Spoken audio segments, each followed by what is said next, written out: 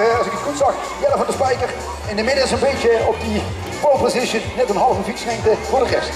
Gaat Jelle dat volhouden? Blijft hij goed gaan? Gaat er niks fout? Zet hij deuren open? Zo te zien niet. Techniek wordt maximaal dicht eh, of eh, ingezet. Af en toe die fiets staan. Het geval dat er toch iemand langs probeert te komen, gooi ik even die deur dicht, denkt hij. En dat werkt goed. Hij bouwt uit, hij bouwt uit. Hij komt door zijn trein. Voor Jelle niks aan de hand. De winst is voor hem. Nou, en 95 gaat die tweede plek er nog bij. Is het Slots. En 398, oeh!